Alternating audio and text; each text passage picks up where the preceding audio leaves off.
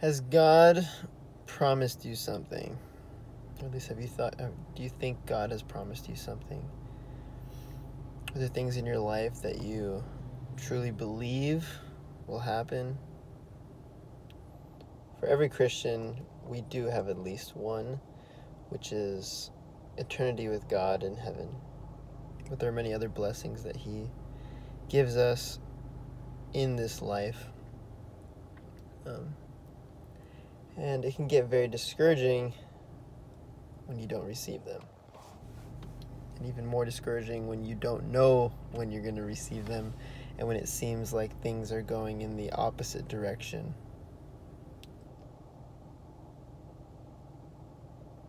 But remember, Jacob was promised by God lots of authority, lots of power, and a great nation in his name, many offspring. It was Jacob. He saw a vision, God gave him a vision of, of the ladder going to heaven, and and then he told him his blessing.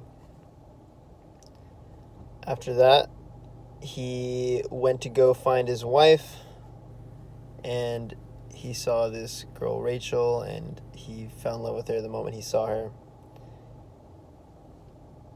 and he wanted to marry her, but her dad was like, "You have to work for me for seven years first. So he worked for seven years, seven years, and then he got tricked, and then had to work another seven years to marry her.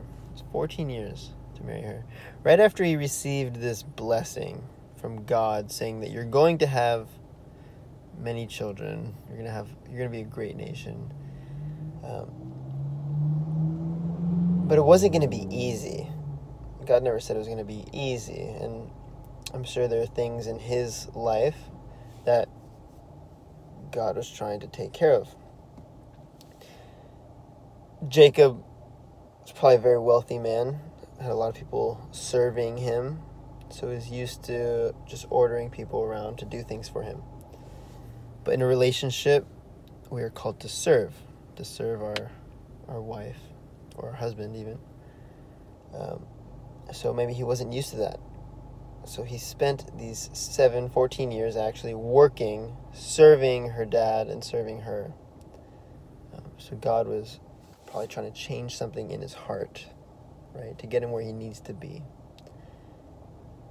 Humbling him, right? And same thing with Jacob's kid, Joseph. Was had a vision from God saying he's going to be ruling over his family and over the whole nation. Um, he told his brothers, and his brothers didn't like that. They were jealous, so they put him in a hole and then sold him to slavery and left him for dead, pretty much.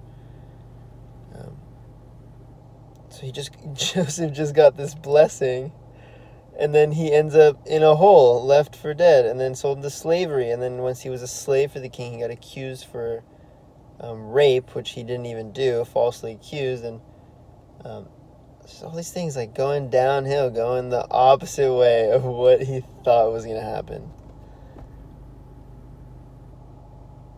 But God had a plan and he worked it out because him being a slave in prison, he he had the opportunity to interpret dreams to the king. So he interpreted a dream that helped the king out so much. So the, so the king made him his number two man, his right hand man.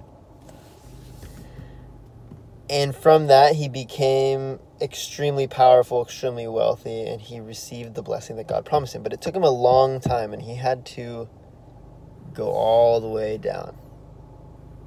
So God was probably trying to humble him. Right? Because if you're going to lead, and be a king and you don't know what it's like to serve, a good chance you'd become tyrannical and not empathize well over the people that are under you.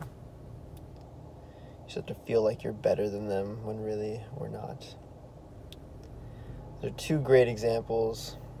There are many other examples, like Jesus being in in the wilderness. That's another thing, though. He was being tempted. So,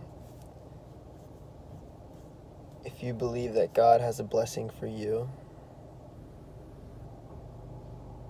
and it doesn't seem like it's coming to pass right now, maybe going the opposite way, just know that no matter what trial you're experiencing, God is trying to make you into the person that you're supposed to be. So you may be complete, lacking nothing, so that you might be able to receive that blessing. It might take time, might take patience. I know I need patience, and I need humility, and I need to learn how to serve.